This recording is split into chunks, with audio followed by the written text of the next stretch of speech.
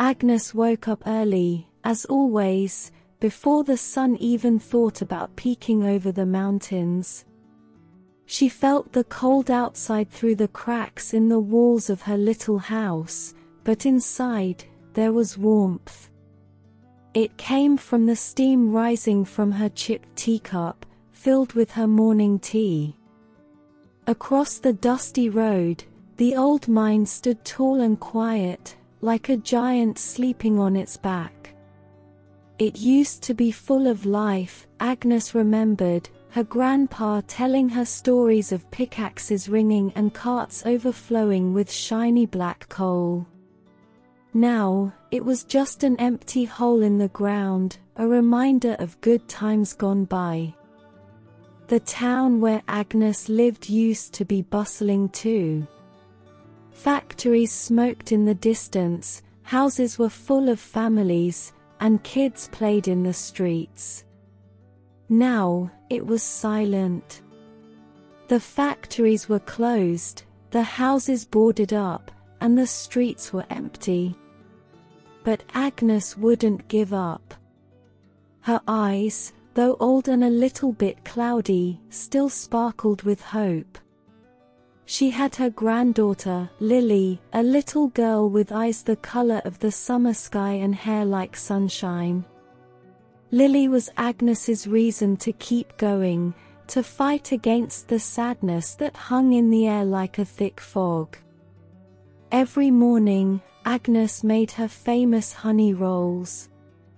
They were golden brown and soft, with the sweetness of honey and the warmth of sunshine baked right in. When the smell of those rolls filled the air, it was like a little bit of happiness spreading through the dusty town. Today, though, Agnes was worried. Lily was sick, her cough echoing through the house like a sad song. Agnes needed more coins than usual to buy medicine and food. And that's why she was waiting for the auction day. The auction was the only time when people came to the town, looking for things to buy. Agnes would set up her little stall with her honey rolls, her secret jam, and maybe a chipped vase she found in the attic.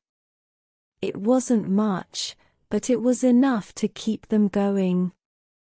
One by one, people came to her stall.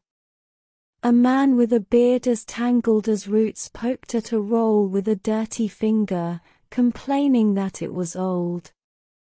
Agnes argued back, her voice strong even though her hands were shaking.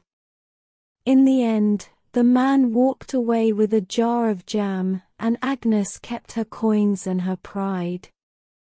But then, she saw her.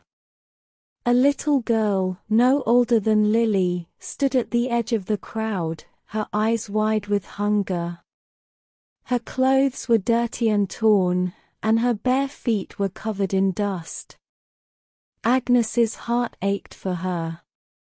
Without thinking, she took a roll, warm and golden, and walked towards the girl. Here, she said, her voice soft like a whisper. Have this. The girl's eyes grew even wider, then filled with tears. She took the roll hesitantly, holding it close to her chest like a precious treasure. Agnes squeezed her hand, a silent promise passing between them. In that moment, something shifted inside Agnes. It wasn't about the coins or the auction or even the empty mine. It was about kindness, about sharing a small piece of hope with someone else. And in that simple act, Agnes found a new kind of strength, a strength that came from the warmth of her heart, not from the darkness outside. She watched as the girl walked away, the golden roll a beacon of light in her dirty hands. And even though the sun still hadn't reached the valley, Agnes felt a flicker of warmth inside her. She knew that as long as there were people like her, the girl, and Lily, the town wouldn't truly die. Even in the darkest of times, hope could find a way to bloom, just like the sweetness of honey in her golden rolls.